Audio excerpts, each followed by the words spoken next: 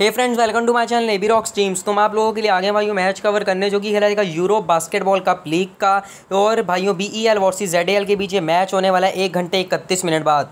बात करूँ भाइयों, इस मैच की फाइनल टीम आपको लाइनअप्स के बाद कहाँ मिलेगी? तो इस मैच की फाइनल टीम आपको लाइनअप्स के बाद मिलेगी मेरे इस चैनल पर, जिसका नाम है A B rocks Dream Eleven teams तो फटाफट आकर इस पर जुड़ो और इधर आप पा सकते हो हंड्रेड विनिंग टीम हर मैच की। एंड भाइयों, जीत सकते हो कुछ ऐसे जैसे कि आप देख सकते हैं। ज़बरदस्त विनिंग कर सकते हो आप मेरे साथ इस चैनल पर जुड़ के। ग्रुप का नाम ध्यान से देख लो, क्योंकि मैं नहीं चाहता कि आपको भाई यार टीम ना मिल पाए। तो चलते हैं आगे। मैं टीम इसकी पोस्ट करूँगा जब लाइन टीम नहीं करता, ये ना कि आप इन्वेस्टमेंट कर लो और आप तक टीम ना पहुँचे। इसलिए पहले बता रहा हूँ लाइनअप्स आने के बाद टीम आएगी, मैं आपको पहले बता रहा हूँ यार। और बात करते हैं भाइयों पॉइंट गार्ड की। तो चलिए शुरू करते हैं। बात करूँ एल हॉल की। तो अब आपको लग रहा होगा एल हॉल की फिफ्टी परसेंट सिलेक्शन है। भाई, आपने क्यों ले लिया? मैंने इसको एक कारण इसलिए लिया क्योंकि भाई ये पिछला मैच खेला नहीं था। लेकिन आई थिंक मुझे लगता है कि आज एल होल वापसी कर सकता है क्योंकि पिछला मैच भी थोड़ा, ये थोड़ा मतलब डाउन चले गए थे।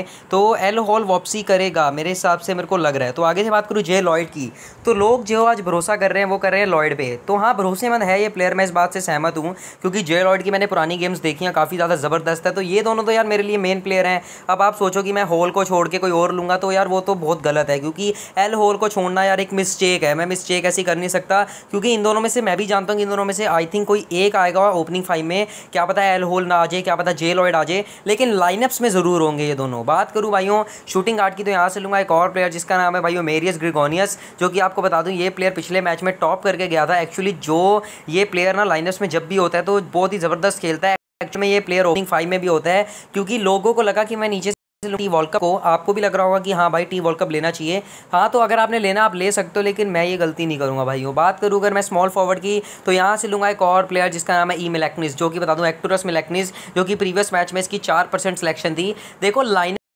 ना प्लेयर भले ही एक परसेंट सिलेक्शन हो, अपनी टीम में ले लिया करो। क्योंकि विदाउट लाइनअप्स की अगर आप टीम बनाते हो तो आपके लॉस के चांसेस 99 परसेंट होते हैं। और जैसे कि बात करूँ पावर फॉरवर्ड की तो यहाँ से लूँगा एन हाइस को। अब लोगों ने क्या किया कि एन हाइस को कैप्टन ट्राई किया वाइस कैप्टन ट्राई किया, लेकिन मैं ये बात जानता था भाई कि एन हाइस नहीं चलेगा। जितना आप सोच रहे हो कि भाई ये पचास पॉइंट मार जाएगा, तीस मार जाएगा, मुझे कमेंट आए मतलब आपके कि भाई इसको कैप्टन रखें। मैं, भाई आपकी चॉइस है कैप्टन रखना, ना रखना।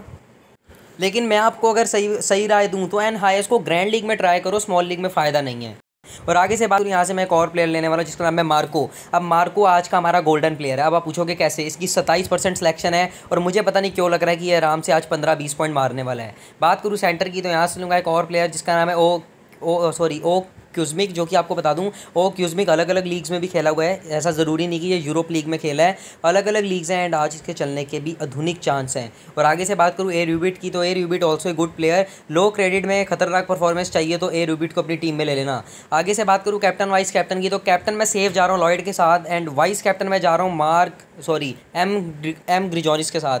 तो मेरियस ग्रिजॉनिस मेरा वाइस कैप्टन एंड कैबॉइड तो ये मेरी टीम भाइयों, मिलता हूँ अगली वीडियो में, अगले मैच के प्रडिक्शन के साथ। अभी के लिए बाय फ्रेंड्स आपका दिन शुभ रहे।